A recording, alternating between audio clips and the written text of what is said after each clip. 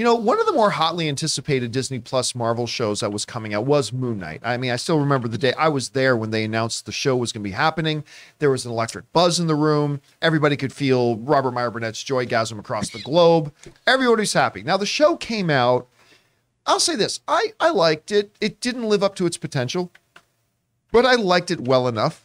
Certainly had a lot of room for improvement and whatnot. But by the end of it, they clearly teased or left a very big open door with that last scene in the limousine, right? They left a big open door for another season, but it was always being touted as a limited series, that this was a one series and done. Now, a little while ago, Oscar Isaac and the director and the showrunner of uh, Moon Knight were in Egypt and did a little video saying, We're in Egypt. What are you doing there? Moon Knight 2, and everybody got really excited about it. Maybe that meant something, maybe it didn't. Well, now Oscar Isaac is confirming that Moon Knight 2 is a possibility. Now, this comes to us, I'm reading this from folks at CBR, who's saying Oscar Isaac revealed that discussions regarding a potential second season of the Disney Plus series were already underway. There have been, says Isaac, there have been some specific conversations about Moon Knight season two, he said.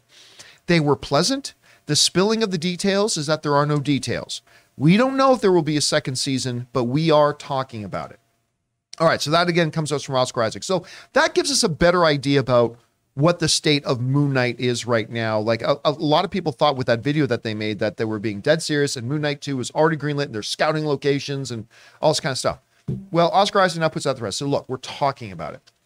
Rob, I think a lot of us kind of came to peace with the idea that Moon Knight was a limited series, a, a one yeah. and done. Maybe see him pop up again in the MCU somewhere. But now Oscar Isaac is saying they are talking about a season two. Do you think there was enough there in the first season that they could build on to to do a really good effective season two, where you turned off by the first season enough that you don't want to see another one? I don't know. What do you think is going to happen here? Well, I think there's definitely look. Oscar Isaac can be a great Moon Knight and a great Mark Spector. I don't.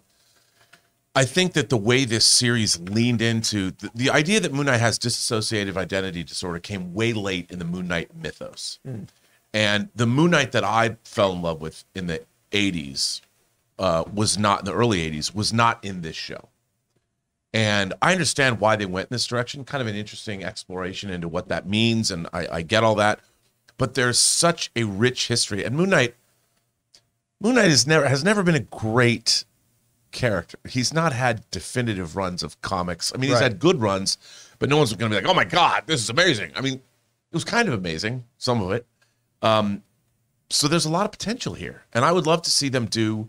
I want to see a, a, a series where Moon Knight can be Moon Knight, as opposed to not knowing who he is and not knowing what happened to him last night or what's going on, and not knowing that two giant Egyptian gods are fighting over the pyramids of Giza, eating the souls of people on the streets of Cairo. That's you know a little much. What do you think is going to happen though? Do you think that yes. at the end of the day they will? I, well, I think you know why because you've got Oscar Isaac and regardless of whether I liked it or not, his performance was incredible. Yeah, he was he was really he was incredible. And they did set up a lot of intriguing stuff. But I have to say, after watching Werewolf by Night, I really wish, you know, Moon Knight was introduced in the pages of Werewolf by Night in 1975. I couldn't help but watch that and think, God, I would love to have seen Moon Knight in that show in black, like a serialized 50s style kind of. Well, I mean, even if yeah, like I would do. To me, Moon Knight could be done as a 40. It's Moon Knight is the romantic version of Batman. Even though people would say Batman himself is romantic. But Moon Knight was a monogamous character and his girlfriend Marlene was a big part of his life.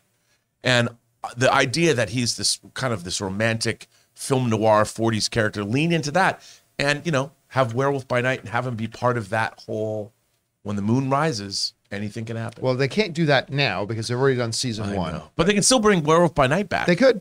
They can. I think they probably will. All right, guys. Question is for you. What do you think about this? Would you be down for Moon Knight season two? Oscar Isaac is now setting the record straight, saying they are actually talking about it, but they're not really far along. Do you think it's going to happen? Whatever you guys think, jump down to the comment section below and let us know your thoughts. Hey guys, we want to take a second to thank the sponsor of this video, Masterclass. You guys know we have been sponsored by Masterclass and we love them here at the John Campea Show for giving us in depth information on a wide variety of topics from the world's best experts. With Masterclass, you can learn from the world's best minds anytime, anywhere, and at your own pace. You can learn the art of filmmaking from James Cameron, improve your cooking skills from Gordon Ramsay, or learn how to make compelling YouTube videos from Marques Brownlee. With over 150 classes from a range of world class instructors, that thing you've always wanted to do is closer than you think. I was recently watching through the independent filmmaking course by Spike Lee, and I found it fascinating that not only did he cover the broader topics like working with actors, but he also gets into finer details like working with a cinematographer and how to properly audition a DP for your project. It was fascinating. So, guys, I highly recommend that you check it out. Get unlimited access to every class, and as a John Campea Show listener, you get 15% off an annual membership. Go to